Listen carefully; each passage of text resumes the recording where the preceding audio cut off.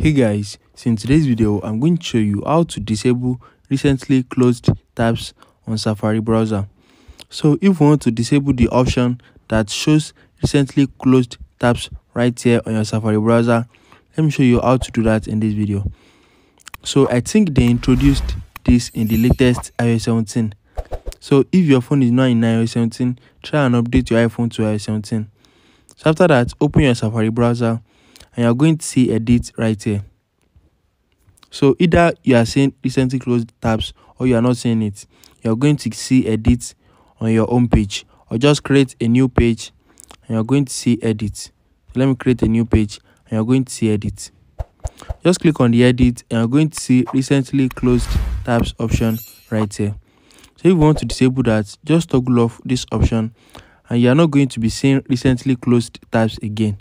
So let me close this tab and you're going to see it is not going to show right here until I enable it back. So if I enable it back, I'm going to see my recently closed tabs.